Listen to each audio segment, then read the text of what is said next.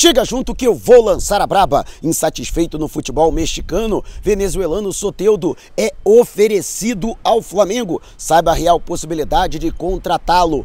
Andrés Pereira pode ser emprestado de graça, mas não para o Flamengo novamente. Geração de 85 tem martelo batido sobre permanência para 2023. E Rodinei entra na mira de clube da Série B do Brasileirão. Te preparem a partir de agora, ó. É tudo nosso. Já chega largando o like, compartilha o vídeo com a galera e vamos lá com a informação. Assista ao vídeo até o final. Mas antes, deixa eu colocar aqui o meu profundo repúdio ao canal Zona Rubro Negra e ao influenciador Alan Garcia. E eu digo isso com profunda decepção e com profunda consternação, porque eu tenho uma admiração pelo trabalho do Zona Rubro Negra e sempre tive um respeito muito grande pelo Alan, que afirmou é injustificadamente e de maneira leviana que eu teria pedido à torcida do Flamengo para pegar leve com o vice-presidente de futebol, Marcos Braz. Bom, você que acompanha o meu trabalho aqui, acompanha os meus vídeos e as minhas lives, eu gostaria de saber se em algum momento eu falei isso. É, eu é, acredito ter uma memória prodigiosa, mas posso ter cometido algum lapso.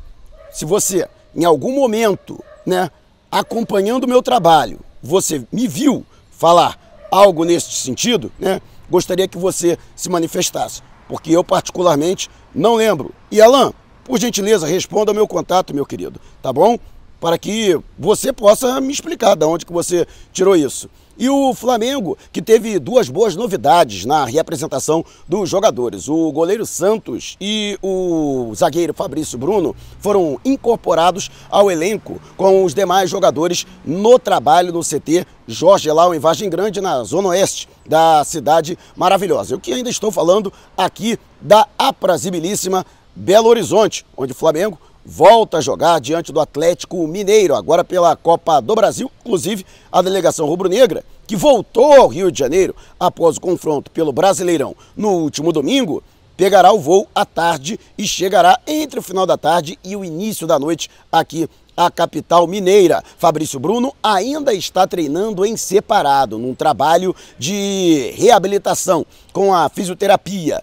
Ambos têm a possibilidade de retornarem no mês que vem. A gente torce aí para que eles possam ficar o quanto antes à disposição da comissão técnica para que Dorival Júnior tenha mais opções. Tanto o goleiro Santos quanto o Fabrício Bruno, inclusive elogiei, apesar de ser um zagueiro limitado, mas que tem consciência das suas limitações e joga o simples, joga o feijão com arroz e o Santos que pode ser uma oportunidade à meta rubro-negra. E você, o que acha? Deixe abaixo o seu comentário. E antes de a gente partir para o próximo assunto, tá vendo essas letrinhas vermelhas abaixo do meu nome no vídeo do smartphone? Ou então esse botãozinho aqui no canto do seu computador é o botão inscreva-se. Clique, acione o sininho na opção todos Fique sempre por dentro do Mengão. Já estamos nas principais plataformas de podcast. Google Podcast, Apple Podcast, Amazon Music, Deezer, Spotify. Tá lá o podcast. Vou lançar a braba. Se você não puder me ver, pelo menos vai poder me ouvir. E o lateral direito Rodinei entrou na mira do Grêmio.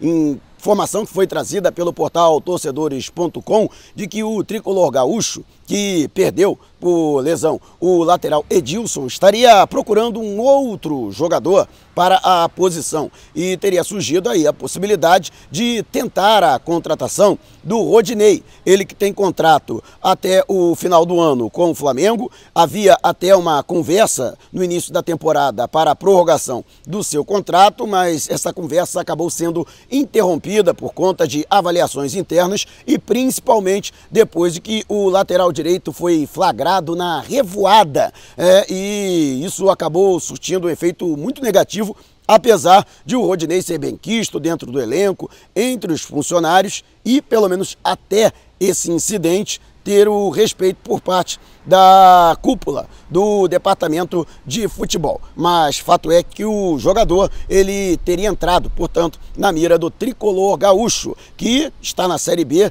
tentando retornar à elite do futebol nacional, o Grêmio que foi rebaixado na Série A do Brasileirão do ano passado. E, portanto, o Rodinei poderia ser essa opção. O Flamengo que não descartaria a possibilidade da liberação do atleta, desde que fosse algo bom para o Flamengo, bom para o jogador né, poderia haver uma composição e a saída de Rodinei não está descartada. E você, o que acha? Você abriria a mão do Rodinei para o Grêmio? Deixe abaixo o seu comentário. E antes de a gente partir para o próximo assunto, se você tem precatórios a receber dos governos federal, estadual ou municipal, não os venda antes de entrar em contato através do e-mail que está disponibilizado aqui na descrição do vídeo. E agora o YouTube tem um novo recurso, o Valeu.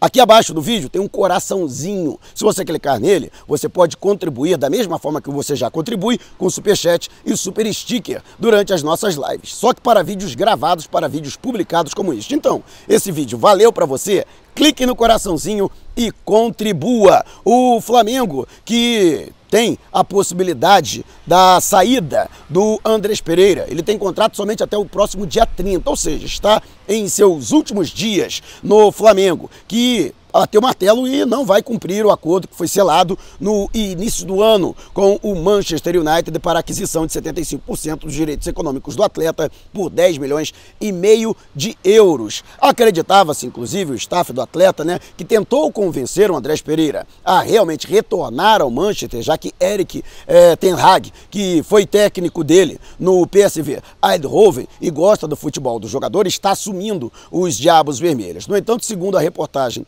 da UOL, o quadro não é exatamente esse e ele teria sido colocado como dispensável na relação dos jogadores transferíveis que pertencem ao clube britânico. E com isso, ele, a tendência é de que o Manchester encontre um clube no qual possa ser feita uma transferência direta, né? uma transferência em definitivo, já que ele tem somente mais um ano de contrato até junho do ano que vem com o clube inglês. E se isso não acontecer, também não está descartada a possibilidade de que ele seja novamente emprestado desta vez para um clube europeu. A extensão do empréstimo dele com o Flamengo está praticamente descartada. O Flamengo que ainda tentou uma última investida, oferecendo 5 milhões de euros, cerca de 27 milhões de reais, por 50% dos direitos econômicos do Andrés Pereira, inclusive essa oferta que foi descartada pelo Manchester, que afirma ter sondagens de clubes dispostos a pagar mais do que isso para ter o jogador. Portanto, acredite se quiser, né? Há poucos dias, há nove dias do final do contrato de empréstimo, a situação de Andrés Pereira continua é, indefinida na sequência de sua carreira. E você, o que acha? Deixe abaixo o seu comentário. E antes de a gente partir para o próximo assunto, é, agora você que é membro do canal, todo mês tem uma mega live durante a mega live vai ser sorteado um manto sagrado novinho em folha e oficial do Mengão. Por apenas R$ 7,90 você estará concorrendo e nesse dia 28, se Deus quiser, estaremos na Colômbia para acompanhar a chegada do Flamengo e você pode ser o contemplado ou contemplada, como o Eberson no mês passado e o Luiz Jacome no mês de abril. Ainda não é membro do canal? Então, torne-se um membro e participe. O Flamengo que bateu martelo internamente com relação à situação dos jogadores da chamada geração de 85. lateral esquerdo Felipe Luiz, o goleiro Diego Alves e o meio-campo Diego Ribas. Aliás, o Diego Alves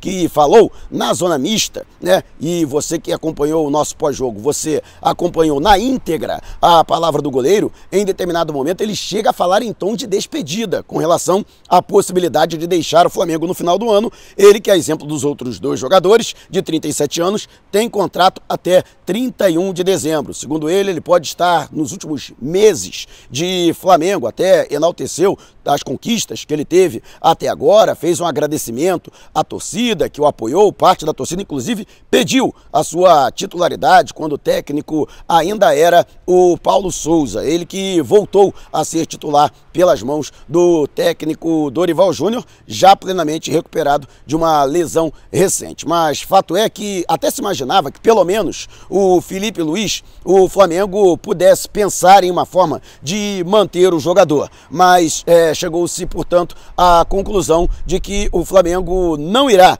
renovar o contrato desses três atletas. Aliás, o Flamengo ainda não procurou nenhum deles para discutir esta situação. E mais, todos os três jogadores têm cláusulas em seus respectivos contratos de liberação imediata em caso de transferência para clubes do exterior. Mas há quem diga dentro do Flamengo que se algum clube brasileiro aparecer interessado por qualquer destes veteranos, o Flamengo não faria resistência para a sua liberação imediata. Portanto, né, esta é a situação e mais, né? Nenhum dos três cogita a possibilidade de encerrar a carreira ao fim do ano, ou seja, de terminar, né, pendurar as chuteiras vestindo a camisa rubro-negra. Todos eles pensam, acreditam que ainda podem atuar por pelo menos mais uma temporada. E pelo menos no presente momento, isso só poderá acontecer fora do rubro-negro. E você, concorda com essa decisão? Deixe abaixo o seu comentário. E antes de a gente partir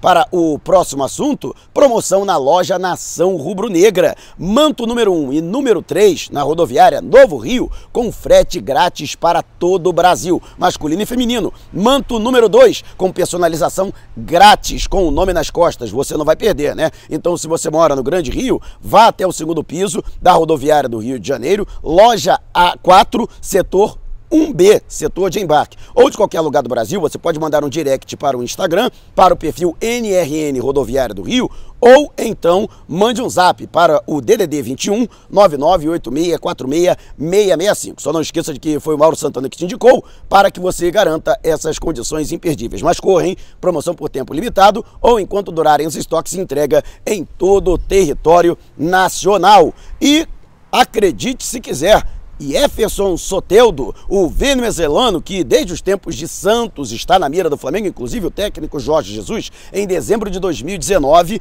pediu a sua contratação. Na época, o Santos é, exigiu uma fábula para negociá-lo com o Flamengo, 15 milhões de euros, e aí o Flamengo acabou desistindo e investindo na contratação do Michel, que teria sido a segunda opção dada pelo português. E no ano passado, é, o ano retrasado, Soteudo, ele foi negociado com o Toronto, que apesar de ser do Canadá, disputa a Liga Profissional de Futebol dos Estados Unidos. Mas naquela oportunidade ele foi pouco aproveitado. Toronto, que era lanterna da MLS, e por, por essa questão, por não ter ambiente, ele acabou forçando a barra para ser negociado. Houve até uma sondagem, uma conversa é, preliminar envolvendo o Flamengo e os agentes do jogador naquela oportunidade, mas o que acabou não avançando. Ele que foi oferecido de volta para o Santos, que não tinha dinheiro para trazê-lo de volta ao futebol brasileiro. Com isso, ele acertou com o Tigres do México, mas fato é que no Tigres ele também não vem sendo aproveitado. Aliás, existe uma decepção